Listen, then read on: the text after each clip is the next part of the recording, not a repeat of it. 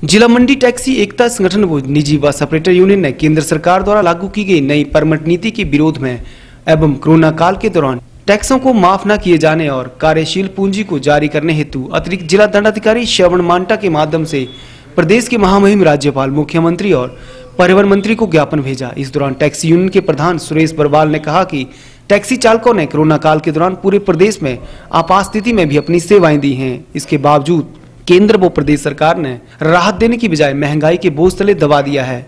उन्होंने कहा कि केंद्र सरकार द्वारा लागू की गई नई राष्ट्रीय परमिट नीति, जिसमें परमिट फ़ीस को कई गुना बढ़ा दिया गया है। इसको लेकर मंडी टैक्सी यूनियन ने गहरा रोष व्यक्त किया है।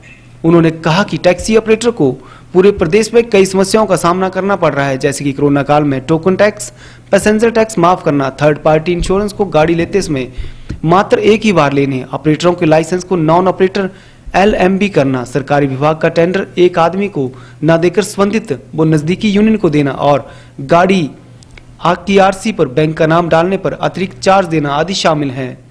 उन्होंने कहा कि टैक्सी यूनियन द्वारा बार बार सरकार से अपनी मांगों को लेकर गुहार लगाई गई है, लेकिन समस्याओं को अनसुना किया जा रहा है। उन्होंने कहा कि टैक्सी ऑपरेटरों ने निर्णय लिया है कि निजी बस ऑपरेटर यूनियन की तर्ज पर 3 मई से मंडी जिला में टैक्सी ऑपरेटर अपनी सेवाएँ देना अनिश्चित काल के लिए बंद कर देंगे।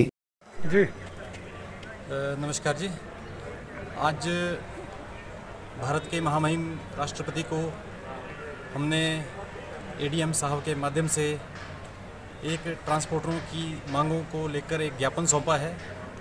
जैसा कि आपको पहले भी पता है कि हम इन मांगों को लेकर पहले भी सात आठ महीने से संघर्षशील हैं ट्रांसपोर्टरों की मांगे हैं, बस वालों की है टैक्सी वालों की है। तो ज्ञापन सौंपा क्यों है आपको? वो जानकारी दे दें जैसा कि आपको पता है कि पूरा विश्व इस समय कोरोना जैसी खतरनाक महामारी की चपेट में है।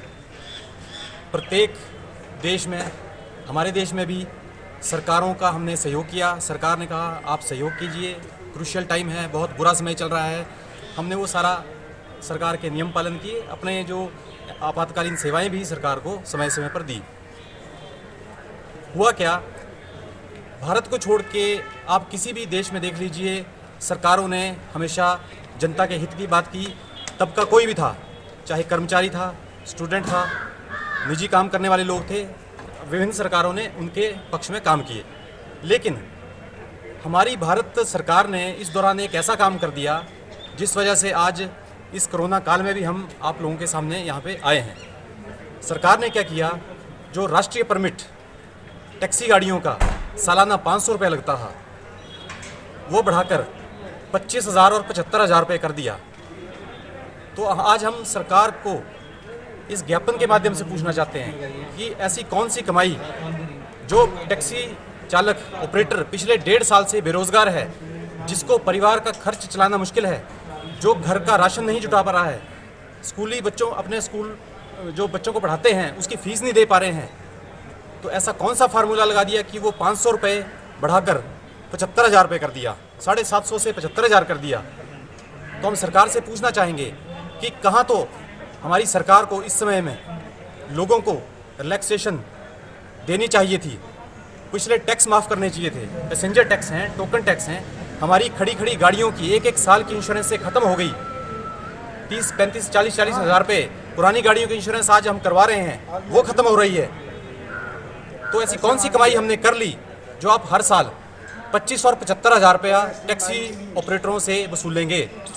हमारा सवाल ये है तो हम इस ज्ञापन के माध्यम से भी हमने माननीय राष्ट्रपति महोदय को भी भेजा है।